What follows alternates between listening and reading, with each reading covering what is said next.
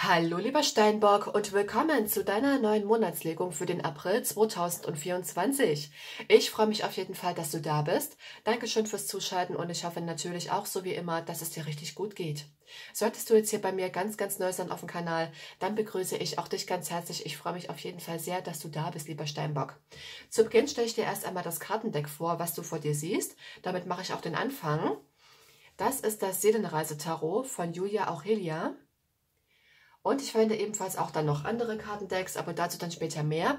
Jetzt würde ich sagen, steigen wir doch ganz einfach mal ein in deine Monatslegung für den April, lieber Steinbock. Und schauen mal, was da alles auf dich zukommt, womit du konfrontiert wirst und was ebenso auch die wichtigen Hinweise sind für dich im Monat April. Denk daran, das hier ist eine ganz, ganz allgemeine Legung. Nicht jeder von euch muss oder kann damit in Resonanz gehen, okay? Okay, Steinbock. Schauen wir uns das doch mal an. So, Steinbock, Sonne, Mond, Aszendent, Venus. Steinbock, Sonne, Mond, Aszendent, Venus, April. Was bringt jetzt der kommende April dem Kollektiv der Steinböcke? Was hält jetzt der April für die Steinböcke bereit? Nummer 1. April, Steinbock. Capricorn im Englischen. Steinbock April. Bitte weitere Einsichten. Jetzt für die Steinböcker. Im April, okay. Das ist die, die unbedingt wollte. Die ist, ähm, die habe ich nicht aus den Augen verloren. So, die andere muss ich mal eben aufheben. So. Aber die stach auf jeden Fall heraus, ne? Okay, so, es geht weiter. Jetzt hätte ich ganz gerne noch zwei Karten. Zwei Karten jetzt bitte noch für die Steinböcke. Jetzt im April. Nummer 4 und noch eine bitte. Oh, da haben wir sie. So. Okay, lieber Steinbock, das Ganze lege ich dir erst einmal natürlich so wie immer ordentlich in die Kamera. Und dann geht es los mit deinem Reading. Ich muss bisher sagen, bei all den Sternzeichen, die ich jetzt bis jetzt aufgenommen habe, du bist jetzt quasi das Zehnte, da ich ja immer nach der astrologischen Reihenfolge gehe. Also die Energien, die waren schon recht seltsam. Was meine ich mit seltsam? Naja, das kann jetzt wirklich daran liegen, ähm, dass im April rückläufiger Merkur ist aber dennoch denke ich, der April kann schon hier und da relativ intensiv werden, was nicht unbedingt negativ gemeint ist. Ne? Ich kann es nicht so richtig greifen. Wir müssen auf jeden Fall natürlich mal schauen, ähm, was jetzt bei dir persönlich sich, äh, sich jetzt hier eben so zeigt. Ne?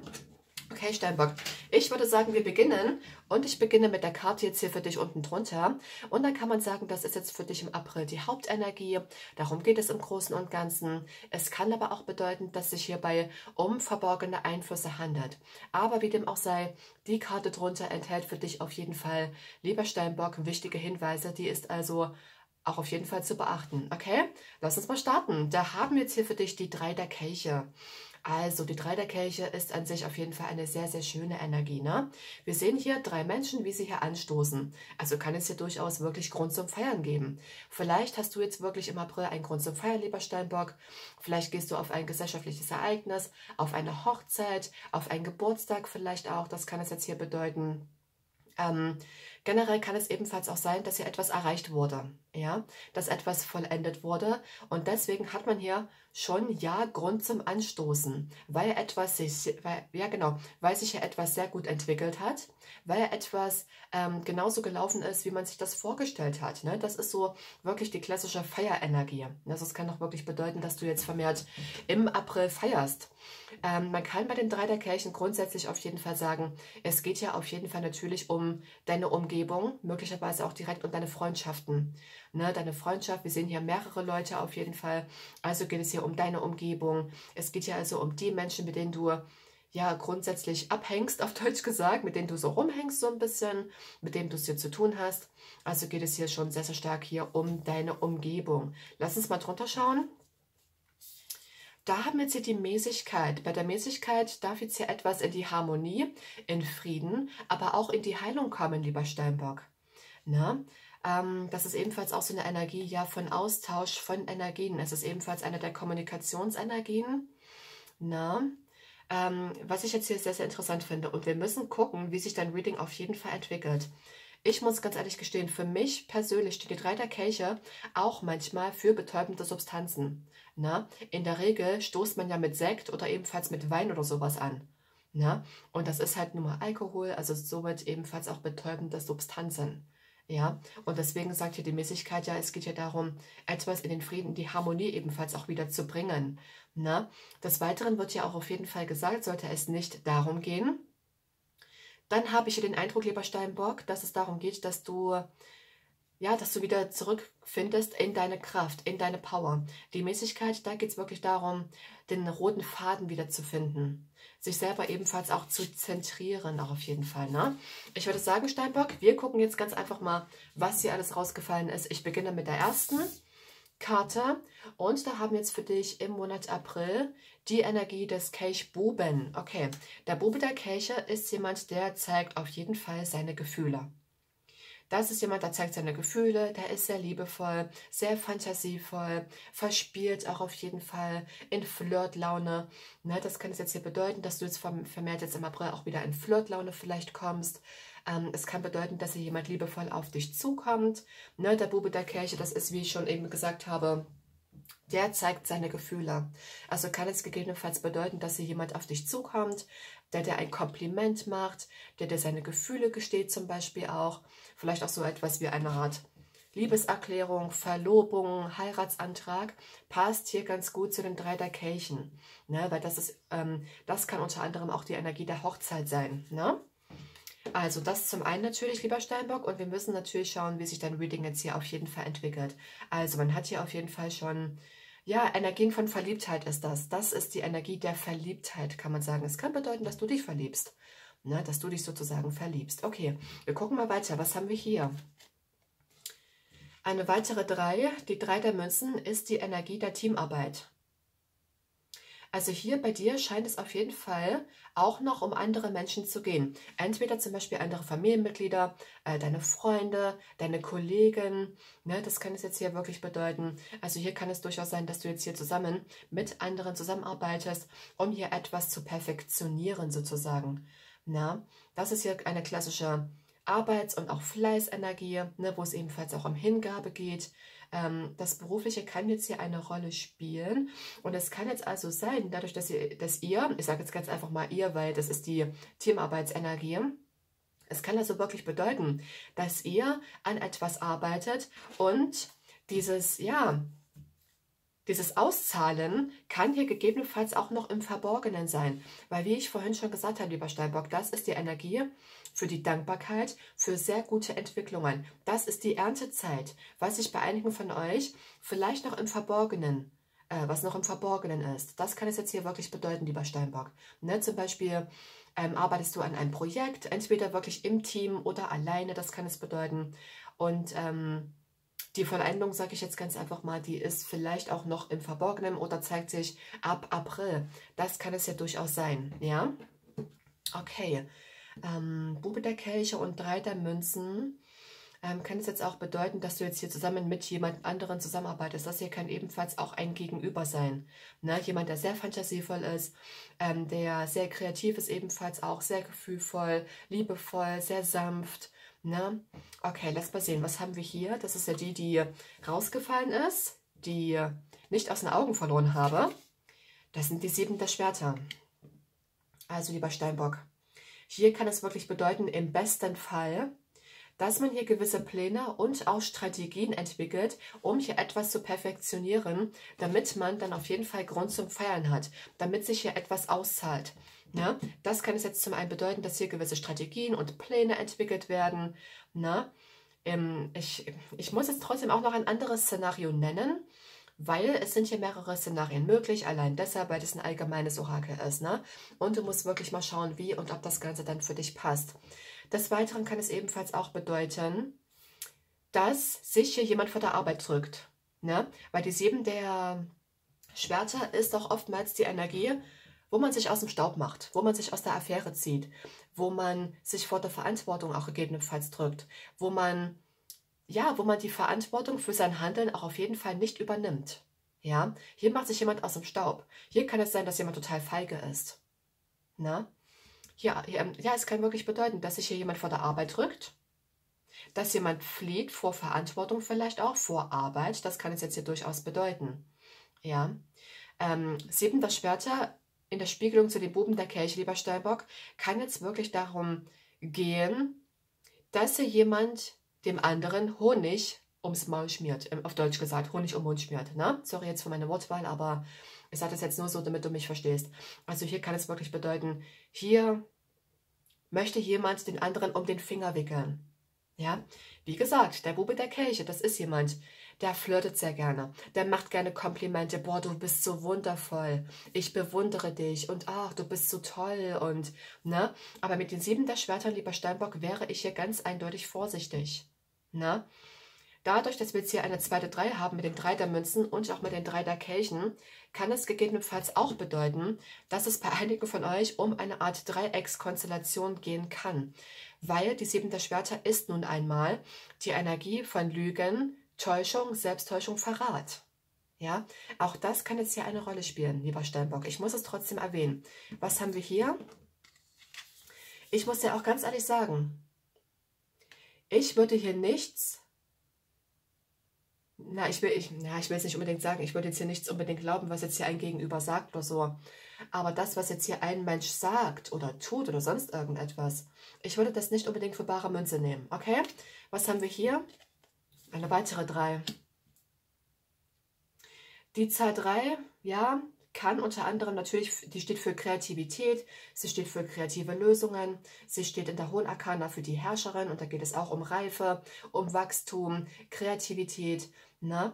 Ähm, ja, Teamarbeit kann jetzt hier durchaus eine Rolle spielen. Im allerbesten Fall, lieber Steinbock, geht es hier durchaus wirklich darum, mit den sieben der Schwertern Pläne zu entwickeln, strategisch klug auch vorzugehen, um hier langfristig gesehen etwas äh, zu erreichen, um etwas zu vollenden, damit man dann auf jeden Fall auch Grund zum Feiern hat.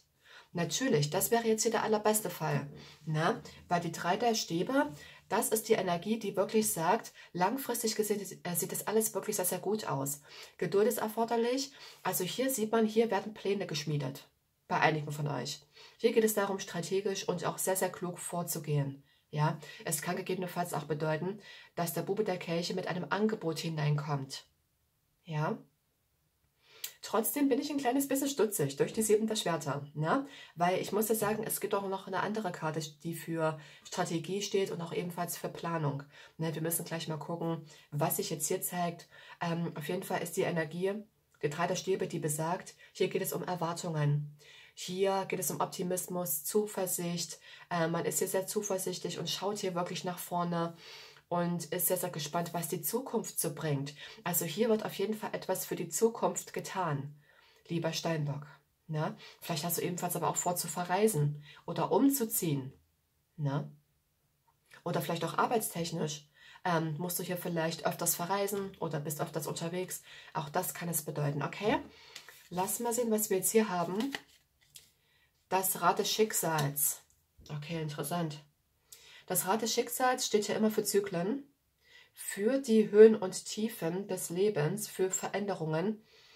Ähm, das Rad des Schicksals steht für Karma, für Zyklen, die zu Ende gehen und auch für Zyklen, die sozusagen neu begonnen werden. Ja? Also es kann jetzt hier wirklich bedeuten, dass jetzt hier ein Zyklus auf dich wartet ein positiver oder ein nicht ganz, na, ich will jetzt nicht, so, äh, nicht unbedingt sagen, ein negativer. Wir müssen dann auf jeden Fall schauen, was dann noch die anderen Karten hier auf jeden Fall sagen werden. Ich habe hier so ein bisschen das Gefühl, dadurch, dass wir hier einen Kreis haben, es ist ja auch da, es ist ein Rad, logisch, dass das ein Kreis ist oder logisch, dass das rund ist. Ähm, Steinbock, ich habe hier so ein bisschen das Gefühl, dass es durchaus hier jemanden gibt, bei einigen von euch zumindest, der sich hier Dinge dreht und wendet, so wie er oder sie es braucht. Ja, das nehme ich hier auf jeden Fall wahr. Es kann ja durchaus sein, dass sich hier jemand vor Arbeit drückt, vor einer bestimmten Tätigkeit oder vor Verantwortung oder Oder, oder, oder. Ne, das weißt du jetzt sozusagen am besten. Aber hier habe ich so ein bisschen das Gefühl, jemand dreht und wendet etwas, wie er oder sie es gerade wirklich braucht. Ne? Natürlich kann es jetzt auch bedeuten mit dem Rat des Schicksals, dass jetzt hier ebenfalls ein Zyklus zu Ende geht. Und das kann durchaus jetzt hier die Arbeit sein, oder dieses Projekt sein, an das hier wirklich gearbeitet wird oder aber wurde, dann kann es durchaus sein mit dem Rat des Schicksals, dass sich hier ein Ende abzeichnet, okay? So, ich würde sagen, wir machen jetzt einfach mal weiter mit dem nächsten Kartendeck. Und jetzt verwende ich für dich das Stargazing Oracle, lieber Steinbock. Ähm, dazu gibt es jetzt keine Verpackung, das gibt es im Online-Shop etsy.com, falls dich interessiert. Okay, nehmen wir mal zurück.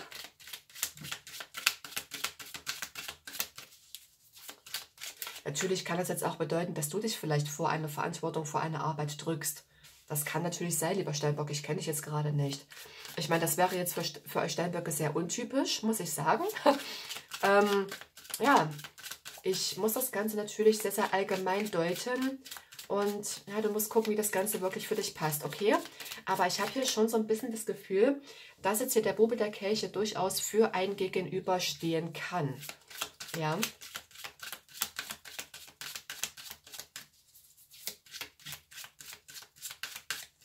Es kann sich hierbei, wie gesagt, um eine Dreieckskonstellation handeln.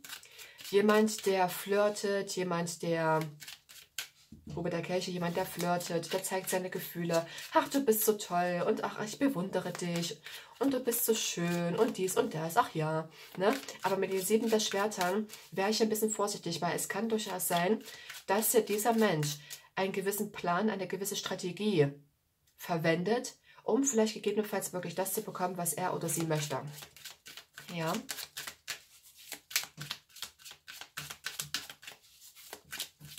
Okay.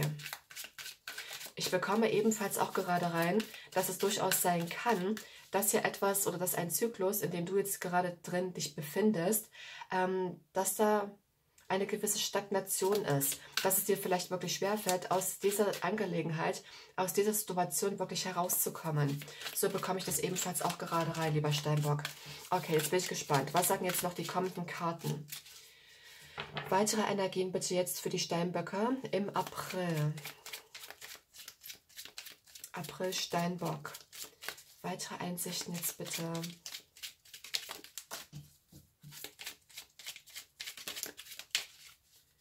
Steinbock. Und wie gesagt, wir haben ja rückläufigen Merkur im April. Also Vorsicht hier wirklich vor Betrüger, die ebenfalls unterwegs sind, weil das kommt vor bei einem rückläufigen Merkur. Ja, ebenfalls könnten da auch vermehrt Lügen fallen. Ja, dass man Dinge sagt, die man nicht unbedingt so meint. Also da vielleicht ein kleines bisschen Vorsicht, okay? So. Weitere Einsichten jetzt bitte für Steinbock. Jetzt im April.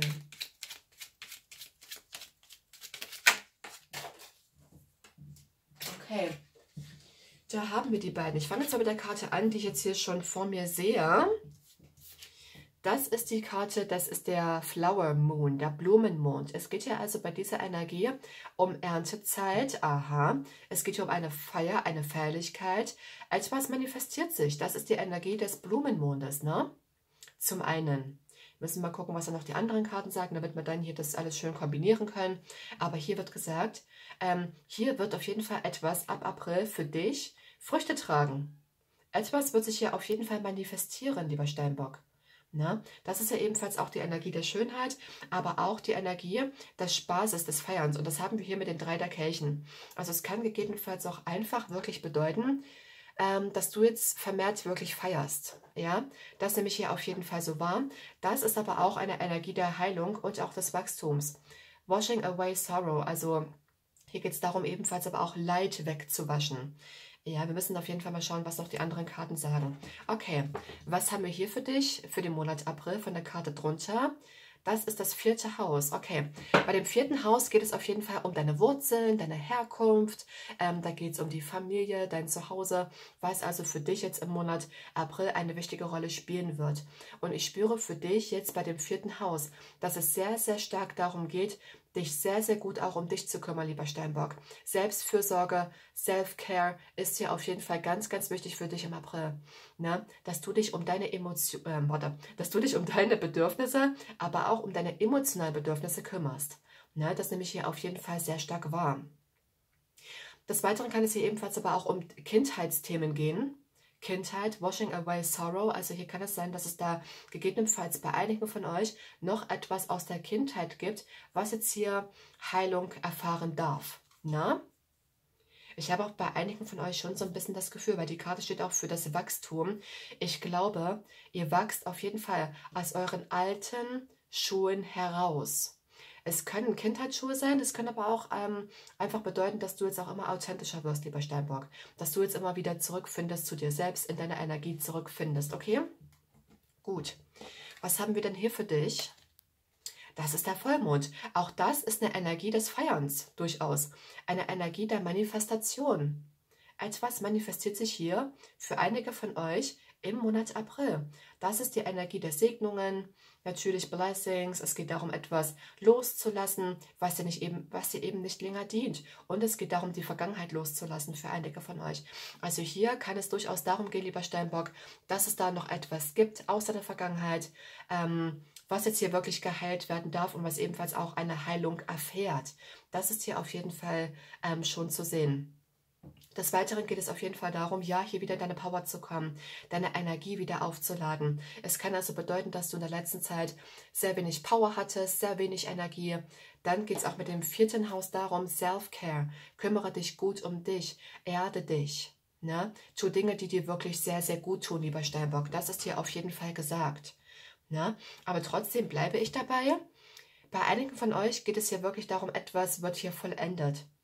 Etwas wird vollendet etwas endet hier, ein Zyklus geht zu Ende. Passt auch ganz gut zu dem Schicksalsrat hier. Ne? Es kann durchaus sein, lieber Steinbock, dass dieser Heilungsprozess ebenfalls jetzt nun auch sein Ende findet. Wir gucken mal. Was haben wir hier? Merkur. Merkur ist die Energie deiner Gedanken, deiner Ideen, aber auch der Kommunikation, des Lernens. Vielleicht möchtest du hier etwas Neues lernen. Es geht darum, Vielleicht möchtest du, falls es dir wirklich hilft, einfach mal deine Gedanken niederschreiben, die du in Bezug auf eine bestimmte Thematik hast, um das Ganze vielleicht ähm, für dich sozusagen zu verarbeiten. Ja, des Weiteren kann es auch bedeuten, dass hier eine Nachricht, eine Neuigkeit hereinkommt, wo es hier Grund zum Feiern gibt, lieber Steinbock, für dich persönlich. Das ist durchaus auch gesagt. Ja, weil Merkur ist auch die Energie der Nachrichten, der Neuigkeiten, natürlich, ne? Ich habe auch das Gefühl, dass einige von euch hier durchaus heilen können, etwas verarbeiten können, indem ihr darüber redet. Na? So, was haben wir hier? Die beiden Karten wollten zusammen. Das ist jetzt hier der Dreiviertelmond. Okay, hier geht es um Vergebung. Kontemplation, Reflexion, alles ist nicht verloren. Veränderungen sind hier erforderlich in deiner Angelegenheit. Okay, ich nehme hier so ein bisschen wahr, einige von euch, ihr verwendet möglicherweise für etwas Ausreden, warum etwas nicht klappt. Das nehme ich hier so ein bisschen wahr, das kann aber weniger von euch betreffen, wie gesagt. Ähm, das ist die Energie der Reflexion. Also hier kann es durchaus sein, lieber Steinbock, ja, es kommt nochmal eine Zeit auf dich zu, der Reflexion, der Innenschau, der Kontemplation, ähm, wo hier wirklich noch einmal, ja, Leid weggewaschen werden darf, wo es darum geht, wirklich zu heilen. Ne? Ich habe bei vielen von euch wirklich das Gefühl, dass ihr da wirklich sehr, sehr gute Fortschritte macht. Ne? Weil wir haben hier durchaus die Energie, ja, der inneren Arbeit, Vollmond, etwas loslassen, loslassen der Vergangenheit, was im April eine Rolle spielen wird. Aber trotzdem glaube ich auch gleichzeitig, dass viele von euch es ab April schaffen werden. Ja, das nehme ich hier auch sehr, sehr stark wahr. Okay, das nächste Kartendeck, was ich jetzt verwende, Steinbock, ähm, das ist das Ätherische Alchemist Tarot. So, dann gucken wir doch mal weiter. Trotzdem sehe ich wieder, dass einige von euch wieder mehr in Feierlaune sein werden. hier eine Energie des Feiern, Celebration, Feiern, Celebration, Feiern. Und hier die drei der Kirche sagen etwas, ja, ähnliches im Prinzip, ne? Ist sehr schön. Natürlich darf man hin und wieder nicht vergessen, das Leben zu genießen. Ne? Trotz diesen ganzen Heilungsprozesses und so weiter und so fort. Ja, hier geht es darum, wirklich etwas loszulassen, was dir einfach nicht länger dient. Das hat was zu tun mit deiner Vergangenheit hier, mit dem Vollmond und vor allem auch hier etwas mit dem vierten Haus, was eine Ahnenthematik sein kann. Heilung der Abstammung, Heilung eines Vaterthemas, Heilung der Mutterlinie. Na, das ist hier bei einigen von euch hier auf jeden Fall natürlich auch denkbar und sichtbar, dass es auf jeden Fall darum geht. Und lieber Steinbock, lass mich dir sagen, du bist damit nicht alleine. Es geht so vielen Sternzeichen so. Und ich denke, ich bin gespannt, was jetzt noch bei Wassermann und bei Fische rauskommt. Ähm, aber bei allen bis jetzt habe ich gesehen, ja, da wird einiges wirklich geheilt. Na, da geht es wirklich darum, sich Dinge anzuschauen, damit sie Heilung erfahren. Na? Weil die Welt befindet sich momentan wirklich in einem Aufstiegsprozess, in einem Transformationsprozess. Und auf Deutsch gesagt, kommen da nun einmal die Leichen aus dem Keller. Na? Alles, was unter den Teppich gekehrt wurde, kommt nach oben. Ja, nicht um euch oder um dich zu ärgern, sondern damit es geheilt, transformiert wird. Okay? Oh, die wollte, die wollte auch. Okay, da bin ich jetzt gleich mal gespannt. Die sind jetzt einfach so rausgefallen. So. Es geht weiter. Weitere Energie jetzt bitte für die Steinböcke. Jetzt im April. Ja. Ich hätte ganz gern noch eine.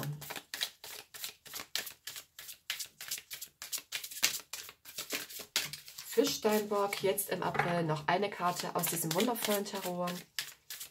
April. Was bringt jetzt der April noch dem Steinbock? April. Da haben wir sie. Sehr schön. So, drunter folgende Energie für dich, dann nah. Okay, bei den Narren geht es auf jeden Fall natürlich darum, einen Glaubenssprung zu wagen. Es geht darum, sich etwas mehr zuzutrauen, ein Risiko einzugehen. Es kann gegebenenfalls auch wirklich für dich bedeuten, dass du vor etwas komplett Neuem stehst, wo du vielleicht oder vielleicht auch nicht dich unsicher fühlen könntest. Ähm, der Nah, das ist immer wirklich der Beginn eines komplett neuen Lebensabschnitts, eines komplett neuen Zykluses, wenn du es so möchtest. Na? Und hier mit dem Rad des Schicksals wird ja hier gesagt, ein Zyklus geht hier zu Ende. Na? Und auch die Vollmondenergie sagt, hier geht es darum, dass etwas losgelassen wird. Etwas wird vollendet. Ja? Und ich habe so ein bisschen das Gefühl, dass der Nah dadurch, dass das jetzt hier unter dem Kartenrand ist, glaube ich, dass es wirklich eine Energie ist, die noch im Verborgenen ist. Na? Okay. Okay, ich bekomme gerade für dich den Satz rein, lieber Steinbock. Aufkeimendes Leben ist noch anfällig und braucht behutsame Pflege. Das ist ein Satz. Aus irgendeinem Kartendeck im Begleitbuch stand der, stand der Satz. Ich weiß nicht mehr genau wo. Na? Also aufkeimendes Leben ist noch anfällig und braucht behutsame Pflege. Okay? So habe ich das gerade reinbekommen. So, was haben wir hier für dich? Drei der Stäbe schon wieder. Eine wiederholende Karte, interessant. Wiederholende Energien sind immer, ja, das ist immer so eine Botschaft mit, mit so einem Unterstrich, weißt du? Also mit so einem dicken Stift unterstrichen kann man ebenfalls sagen. Also es hat eine doppelte Wichtigkeit. Ne? Also Stäbe, da geht es um gewisse Vorhaben, da geht es wirklich darum, Pläne zu machen. Es kann gegebenenfalls bedeuten, dass du jetzt auch wirklich auch ab April wieder beginnst, zuversichtlicher und voller Optimismus auch wieder nach vorne zu blicken. Es kann sein, dass du jetzt noch gewisse Erwartungen hast, dass du vielleicht auch ebenfalls verreisen möchtest. Lass mal sehen. Was haben wir hier? Der Tod. Oh krass, okay. Der Tod, das ist die Energie des Loslassens, das ist die Energie des Abschiednehmens. Etwas geht zu Ende, etwas wird hier auf jeden Fall gewandelt, lieber Steinbock. Das ist das, was man hier auf jeden Fall sehen kann. Transformation, Regeneration, das ist auch wirklich die Energie, ja, wie Phönix aus der Asche. Ne, das ist wirklich das, was jetzt auf einige von euch im April ähm, zukommt. Ne? Eine Wandlung hier auf jeden Fall. Wow, krass.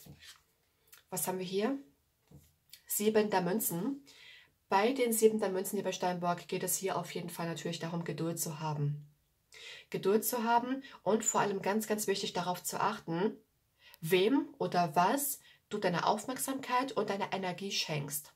Ist dieses oder jenes wirklich wert, deine Energie, deine Arbeit und so weiter wirklich wert? Ne? was hat jetzt für dich oberste Priorität, lieber Steinbock, im Monat April? Das darfst du dich jetzt ebenfalls fragen. Natürlich ist das auch die Energie. Ich nehme hier einen Aufstieg wahr. Aufsteigende Kundalini-Energie nehme ich hier sehr stark wahr. Durch das, ja, das wird mir hier so gezeigt, ne, durch die Münzen jetzt hier und auch durch die Schlange. Ja, also was man hier sehen kann, natürlich, lieber Steinbock, du häutest dich, du, äh, du streifst deine alte Haut ab. Ne? Und deswegen kann es jetzt ebenfalls auch nun einmal bedeuten, dass da nochmal sich, ja, dass das ein bisschen schmerzhaft sein könnte, dass es noch einmal mit Kummer verbunden äh, sein könnte. Ja, aber dass dieser Prozess diente ja ebenfalls. Was haben wir hier für dich? Das ist der Ritter der Münzen. Also hier in dieser Situation, lieber Steinbock, wird hier auf jeden Fall gesagt, hab hier Geduld. Auch die drei der Stäbe können für Geduld stehen. Ja, habe Geduld. Auf lange Sicht gesehen sieht es sehr, sehr gut aus. Ja, das ist auch die Botschaft der drei Stäbe. Habe Geduld, es sieht gut aus. Bleibe dran, bleibe optimistisch, gib hier auf jeden Fall nicht auf. Ne? Also man sieht ja auch trotzdem, dass du auf jeden Fall auch natürlich Geduld hast. Beide Energien stehen für Geduld. Und der Ritter der Münzen ist jemand, der hat es ja sowieso nicht eilig. Der ist auf jeden Fall jemand, der bleibt hier wirklich am Ball, auf dem ist Verlass. Der ist sehr beständig, sehr solide, ne? sehr loyal und treu und so weiter. Und das ist natürlich sehr gut. Ne? Jetzt habe ich gerade draußen ein Quietschen gehört. Ja, das war ich glaube, die Katzen draußen spielen. Okay, Steinbock, ich würde sagen, es geht jetzt sofort weiter. Und jetzt würde ich sagen, bekommst du eine Botschaft von mir aus dem Divine Masters Orakel von Kyle Gray. So, sind wir doch mal gespannt, was die aufgestiegenen Meister dir jetzt sagen möchten. Lieber Steinbock, jetzt für den Monat April.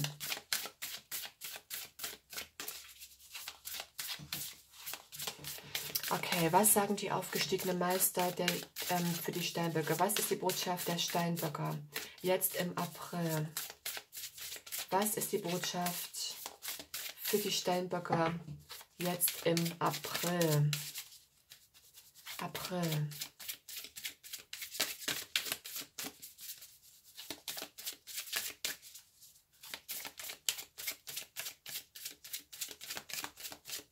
Steinbock.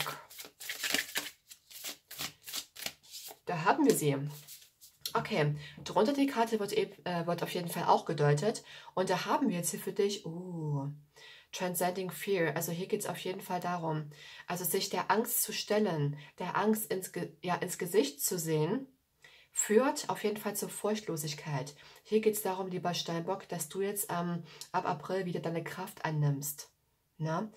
Ähm, dass du wirklich beginnst, deine Kraft wieder anzunehmen. Und dazu ist es auch notwendig, dass du wieder irgendetwas tust, um hier in deine Power zu kommen. Und ich bekomme hier ebenfalls auch rein, ähm, dass wenn du dich jetzt zum Beispiel einer Sache widmest, zum Beispiel, ich gebe jetzt wirklich nur mal ein Beispiel. Ähm, zum Beispiel beginnst du jetzt wirklich damit Sport zu machen. Ne? Und hast bisher so ein bisschen dazu geneigt, aufzugeben. Ne? Dann wird ja auf jeden Fall schon gesagt, Bleibe ich hier wirklich am Ball? Habe ich hier Geduld, auch wenn du noch nicht unbedingt sofort Ergebnisse siehst? Ja? So bekomme ich das auf jeden Fall rein für dich. Bleibe hier am Ball. Oder zum Beispiel möchtest du deine Ernährung umstellen. Oder dich fernhalten von Social Media. Bleib hier dran. Sei hier unnachgiebig. Sei, was das angeht, auch ein bisschen stur. ne? Also so nehme ich das hier auf jeden Fall wahr für dich. Hier darf die Angst umgewandelt werden. Und wie kannst du deine Ängste loswerden? Ähm, indem du die Angst wirklich Beachtung schenkst. Ja? Ich will es nicht unbedingt sagen, spring hier ins eiskalte Wasser und mach einfach, um Gottes Willen. Ich habe eher das Gefühl, oder es fühlt sich jetzt zumindest für mich jetzt wirklich stimmiger an, wenn man sich wirklich hinsetzt und wirklich sich damit auseinandersetzt. Einfach mal einatmet, einfach mal wirklich fühlt. Na? Ich denke, weil das, was angeschaut wird, lieber Steinbock, das, was angeschaut wird, wird verschwinden. Das ist wie, wenn du jetzt ähm, mit einer Taschenlampe auf den Schatten zeigst. So, weißt du? Dann verschwindet der Schatten. So, was haben wir hier für dich jetzt nun für einen aufgestiegenen Meister, der sich hier zeigt? Das ist jetzt hier Hilarion. Interessant. Das ist jetzt hier die, das göttliche Auftauchen. Es geht darum, sich zu zeigen, gesehen zu werden und lass die Welt wissen, was für Gaben du hast. Ich habe so ein bisschen den Eindruck, lieber Steinbock, einige von euch, ihr habt Angst, euch zu zeigen mit euren Talenten. Das kann es bedeuten, einige von euch habt möglicherweise auch Angst, euch so zu zeigen, wie ihr wirklich seid. Entweder wirklich verletzlich oder aber in eurer Power oder vielleicht beides. Ne? Das wird jetzt hier ebenfalls auf einige von euch ebenfalls auch zukommen, dass du jetzt auch vermehrt wieder ja, deine Begabungen einsetzt, sich zu zeigen. Hilarion ist übrigens auch jemand, der steht auch für die Heilung. In einem anderen Kartendeck, in einem anderen aufgestiegenen Meisterkartendeck, ich glaube, es war von Doreen Virtue, meine ich, steht er ebenfalls auch für die Heilung und für dein Wohlbefinden, Schrägstrich deine Gesundheit. Na? Also das kann jetzt hier für viele von euch auch ein Thema werden im April. Na? Okay, das letzte Kartendeck, was ich jetzt für dich verwende, lieber Steinbock, ähm, ist jetzt das magische Orakel der Feen von Doreen Virtue.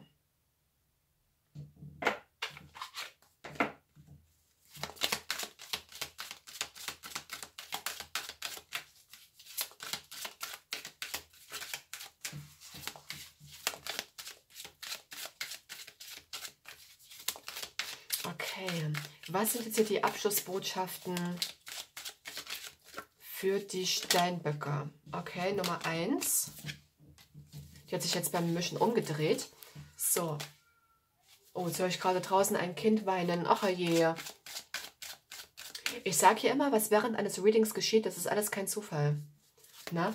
Ja, vielleicht kann es durchaus sein, dass dein inneres Kind da auch ein kleines bisschen mehr Aufmerksamkeit und Liebe braucht, lieber Steinbock. Na?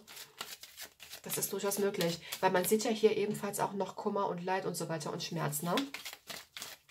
Da darf einiges nochmal geheilt werden. Und ich glaube, und ich bleibe auch dabei bei der Aussage, es würde auf jeden Fall vielen von euch helfen, wenn ihr darüber redet oder darüber sprecht. Ne? Oder es einfach mal aufschreibt, Tagebuch führt zum Beispiel auch. Ne? Weil da kann man ja ebenfalls auch einiges verarbeiten und bekommt, man und bekommt ebenfalls noch zusätzlich ähm, gewisse Einsichten und Erkenntnisse. So, weitere Botschaften jetzt noch zum Abschluss für die lieben Steinböcke im Monat April. Was bringt der April? Noch dem Steinbock. Okay, die ist es. Steinbock, April.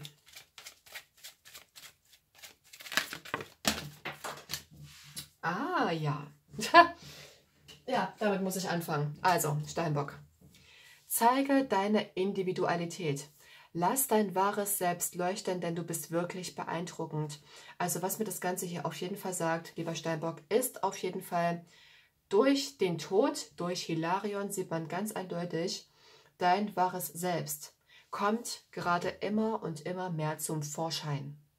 Ja, du bist dabei, dich zu transformieren, du bist dabei zu heilen, du bist dabei, ja, wiedergeboren zu werden, kann man sagen. Und eine Art Wiedergeburtsprozess hier mit dem Tod ist oftmals auch mit Schmerz verbunden. Ja, und das ist nicht unbedingt immer einfach. Und hier wird auf jeden Fall gesagt, hey, es lohnt sich. Es lohnt sich, es lohnt sich auch auf jeden Fall, wirklich geduldig zu sein, am Ball zu bleiben und auf jeden Fall etwas dafür zu tun, damit es dir auch wieder gut geht. Hier, Selbstfürsorge, das ist für viele von euch ganz, ganz wichtig. Kümmere dich um dich. Ja, das wird ganz, ganz wichtig. Stärke deine, ja, deine Verwurzelung mit Mutter Erde zum Beispiel auch. Ne? Erde dich. Was haben wir hier? Geh weg, okay? Verlass diese ungesunde Situation und freu dich darüber, dass sich als Folge neue Türen öffnen. Also du wirst hier auf jeden Fall, zum einen habe ich das Gefühl, geh wieder ein bisschen mehr raus. Verlass auch mal ruhig dein Zuhause. Geh wieder ein bisschen mehr raus in die Natur zum Beispiel, schnapp mal frische Luft oder mach einen Kurztrip oder sowas in der Richtung. Das kann einigen von euch gut tun. Vielleicht hast du es auch sowieso vor. Aber generell wird jetzt hier auf jeden Fall gesagt, etwas, was dir nicht länger dient, was dir weiterhin auf lange Sicht schaden wird, davon darfst du dich jetzt hier lösen und verabschieden, lieber Steinbock. Was auch immer das hier wirklich ist. Ein, ein ungesundes Arbeitsverhältnis, negative Gewohnheiten, Süchte, ja, Lass mal sehen.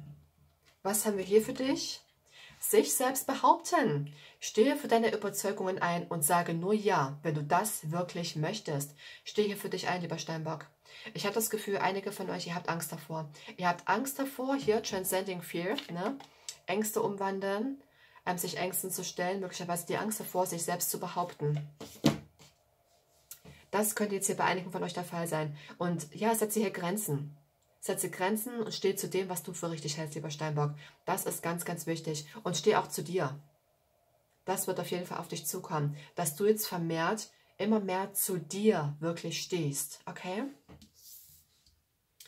So, was haben wir hier? Neue Karriere. Okay, deine berufliche Energie richtet sich jetzt in eine positive, neue und erfolgreiche Richtung. Und was das angeht, darfst du dich so zeigen, wie du wirklich bist. Vielleicht geht es ja für einige von euch auch darum, jetzt der Berufung zu folgen. Dein Hobby zum Beruf zu machen vielleicht auch. Generell kann es auch wirklich bedeuten, ja, beruflich gesehen wird es jetzt besser, wird es einfacher. Ne? Vielleicht habt ihr da irgendwie eine schwere Zeit hinter euch. Auch das ist, es durch, das ist durchaus möglich. Ne? Also hier kann es wirklich bedeuten, verlasse ein negatives Arbeitsumfeld und gehe beruflich in eine neue Richtung. Das kann es jetzt auch sein, lieber Steinbock. Okay? So, Steinbock, mehr Botschaften habe ich jetzt nicht für dich. Ich bedanke mich bei dir ganz, ganz doll fürs Zusehen. Und wenn dir das Video gefallen hat, würde ich mich auf jeden Fall über ein Like und ebenfalls über ein Abo freuen. Lieber Steinbock, danke fürs Zusehen. Hab einen wunderschönen April und ich sage bis zum nächsten Mal. Mach's gut. Tschüss.